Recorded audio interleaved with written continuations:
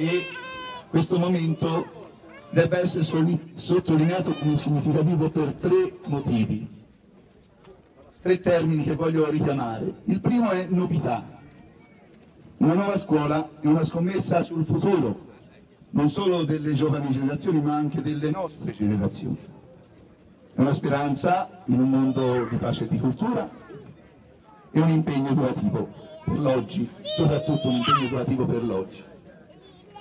Bellezza, vi renderete conto che questa è una scuola bella, non solo una scuola sicura, non solo una nuova scuola, ma una scuola bella e la bellezza non passa e ci educa. Giustamente Dostoevsky faceva dire al principe Miskin, lei che cosa ne pensa? Il mondo sarà salvato dalla bellezza. Infine, un terzo concetto che voglio esprimere, con cui concludo, è il concetto di progetto.